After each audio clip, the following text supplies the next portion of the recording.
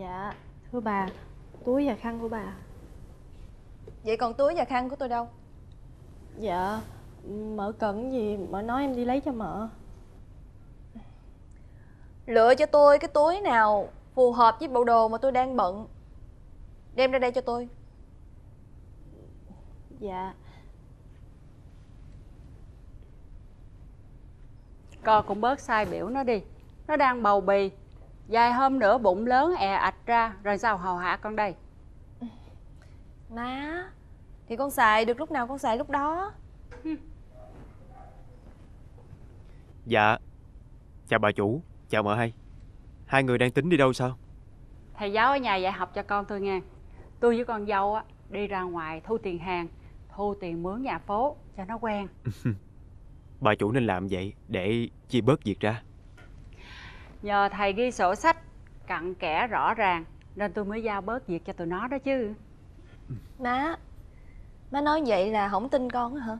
Không phải má không tin Mà tại má không biết làm sổ sách Nên má tự ghi tự tính toán cho dễ. Chứ chia ra hai ba người á Má không biết gộp lại. Thầy giáo đây á ghi chép rất là kỹ càng. Ai thu chì sao á Thầy ghi ra sổ Nhìn vô cái hiểu liền à. Thầy giỏi lắm nha con. Dạ Bà chủ quá khen Mỗi người giỏi một việc mà Thưa bà. Dạ Chào thầy Ừ. Mợ hai ơi Em chọn cho mợ hai túi này được không mợ Ừ. Nhìn cũng tạm được. Mới thấy bữa nay làm coi được một chút xíu. Thôi má con mình đi. Tôi đi nghe thầy. Dạ Chào bà chủ. Chào bà. Chào mợ hai. Con Huệ. Dạ. Đi ra ngoài sơ bếp phụ nấu cơm Không có được chàng ràng chỗ con hai đang học hành đó. Dạ mợ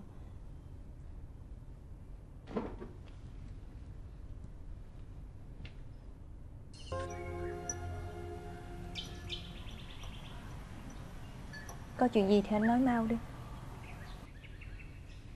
Anh mong em bỏ qua chuyện cũ Để cho anh được làm bạn với em. Cùng em chia sẻ buồn vui trong cuộc sống.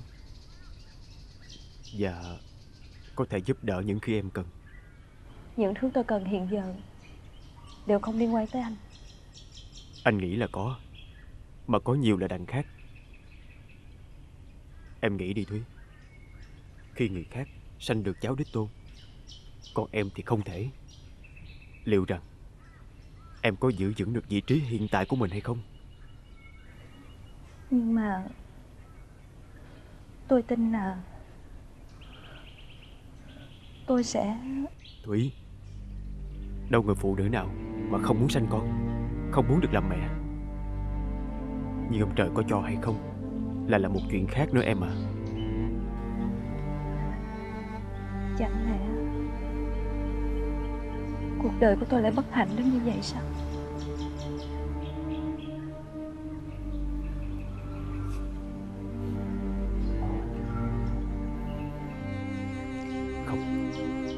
Em sẽ không bất hạnh đâu. Kể từ bây giờ Anh sẽ không để cho bất kỳ ai ức hiếp em. Anh sẽ ở bên cạnh Để bảo vệ. Dạ Cảm ơn bà chủ về bữa cơm chiều rất ngon. Giờ thì tôi xin phép về phòng nghỉ ngơi. Thầy khoan hãy đi. Thầy cũng ngồi nghe chuyện để cho biết. Ờ Dạ bà chủ Nhưng Thầy đừng có ngại. Tôi coi thầy như người nhà rồi ừ. Ờ Dạ. Có chuyện gì vậy má? Má nói đi Tụi con đang chờ nghe đây.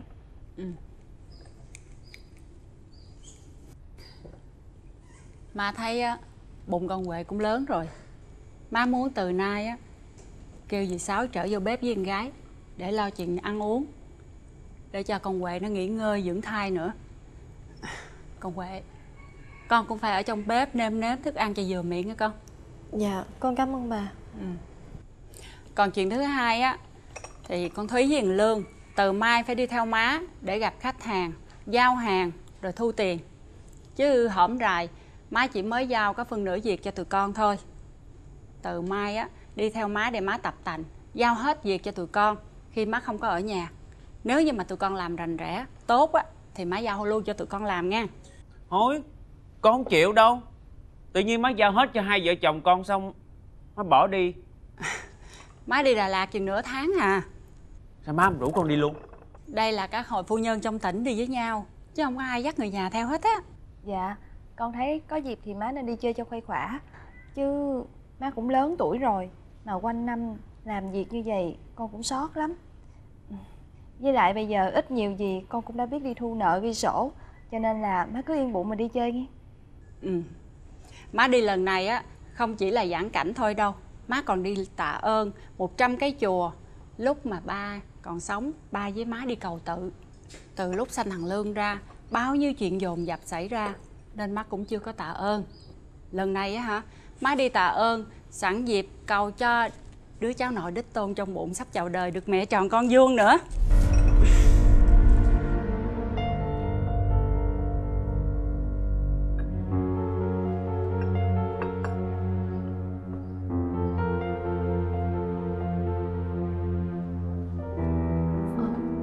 Dạ thầy mới về.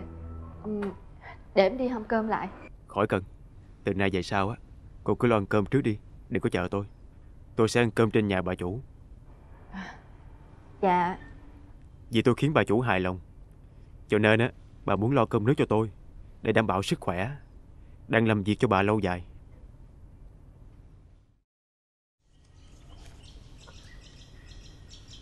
Dạ Chào bà chủ Anh còn giỡn được nữa hả? Lòng dạ em bây giờ như là lửa đốt vậy đó. Anh ngồi xuống đi.